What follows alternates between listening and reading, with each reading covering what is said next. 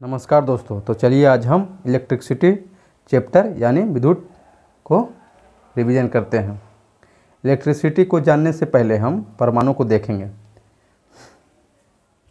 तो चलिए, परमाणु किसी पदार्थ का, वह छोटा से छोटा कण है जो रासायनिक क्रियाओं में भाग ले सके अथवा रासायनिक क्रियाओं के द्वारा पृथक किया जा सके, उसे परमाणु कहते हैं यानी एटम यह प्रकृति में स्वतंत्र रूप में विद्यमान नहीं रहता है।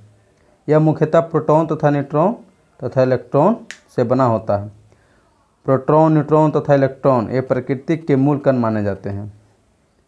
प्रोटॉन तथा न्यूट्रॉन परमाणु के नाभिक में विद्यमान रहते हैं, जो परमाणु का केंद्रीय डेंसिटी का भाग होता है।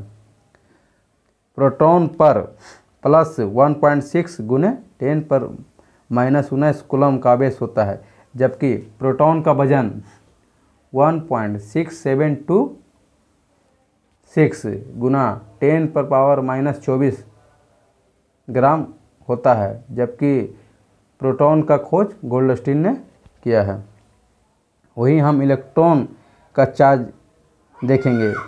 इलेक्ट्रॉन पर charge minus one point six गुने टेन पर टेन पर पावर माइनस उन्नीस कुलम होता है। जबकि इलेक्ट्रॉन का वज़न, यानी दरमियान 9.1 गुना टेन पर पावर माइनस अट्ठाईस ग्राम होता है, जबकि इलेक्ट्रॉन का खोज जे जे थॉमसन ने किया था। यहीं हम न्यूट्रॉन को देखते हैं तो न्यूट्रॉन पर कोई अब चार्ज नहीं होता है, यह चार्जलेस होता है, जबकि न्यूट्रॉन का वज़न 1.674 गुना टेन पर पावर माइनस चौबीस ग्राम होता है। जबकि न्यूट्रॉन का खोज चैडविक ने 1932 में किया है। एक नोट में देखेंगे, सबसे पहले इलेक्ट्रॉन के आवेश का सफलतापूर्वक निर्धारण मिलिकन के द्वारा तेल बूंद प्रयोग विधि से किया गया। इलेक्ट्रॉन की तरंग प्रकृति की खोज डी ब्रोगली ने की थी। चलिए, अब हम मुक्त इलेक्ट्रॉन यानी इलेक्ट्रॉन क्या होते हैं, इसको देखते हैं। अधिकांश धातुओं की अंतिम कक्षा में केवल एक या दो इलेक्ट्रॉन होते हैं, जिन्हें मुक्त इलेक्ट्रॉन कहा जाता है। नाभिक से दूर होने के कारण ये लगभग मुक्त अवस्था में होता है, इसीलिए इसे मुक्त इलेक्ट्रॉन कहते हैं। मुक्त इलेक्ट्रॉन के कारण ही चार्ज कंडक्टर के एक सिरे से दूसरे सिरे तक पहुँचता है। सॉलिड मेटल के तार में विद्युत धारा का प्रवाह मुक्त इलेक्ट्रॉन के कारण ही होता है, जबकि इलेक्ट्रोलाइट्स, यानी वैद्युत अपघट्ट में धारा का प्रवाह आयन के कारण होता है। अब चलिए हम चार्ज को देखते हैं। चार्ज यानी अवेश यह किसी पदार्थ का वह गुण है जिसके कारण कोई वस्तु वैद्युत आकर्षण या विकर्षण, यानी अट्रैक्शन और रिपल्सन का अनुभव करती है। चार्ज का एस आई मात्रक कुलम्ब, जबकि सी जी एस मात्रक स्टेट कुलम्ब होता है। इसे सी से प्रदर्शित करते हैं। आवेश का मात्रक एम्पियर सेकेंड भी होता है।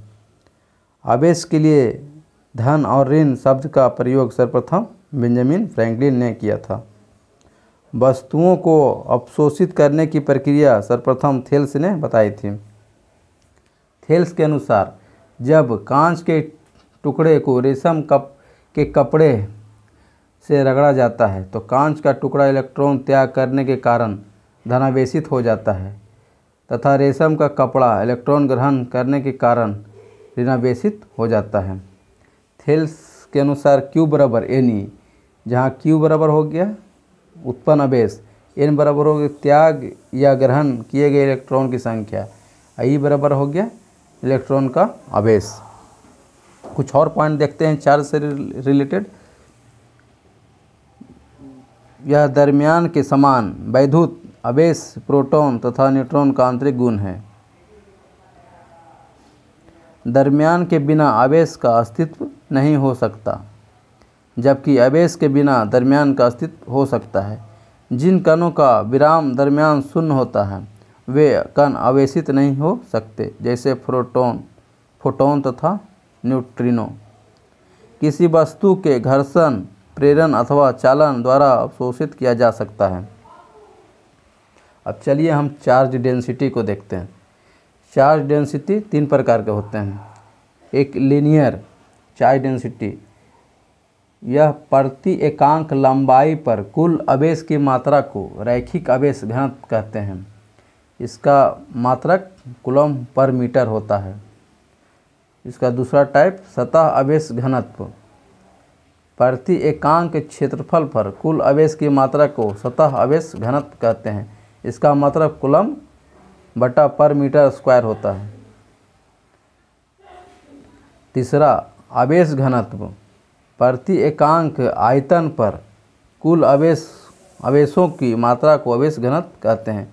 इसका मात्रक सी बटा मीटर क्यू होता है। अब चलिए हम कुलम का नियम देखते हैं।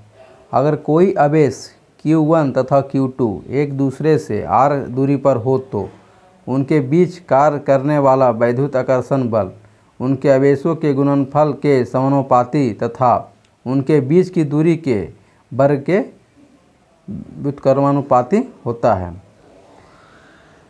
चलिए इसको देखते हैं।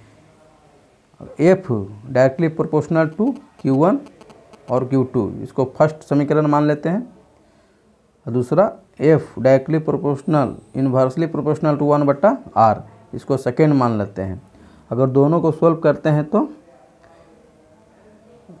F directly proportional to q one q two बटा आर स्क्वायर होता है। और इसको सोल्व करते हैं तो फोर्स बराबर प्रोपोर्शनल हटेगा तो के कांस्टेंट यानी क्यू वन बट गुना क्यू टू बटा आर स्क्वायर होगा।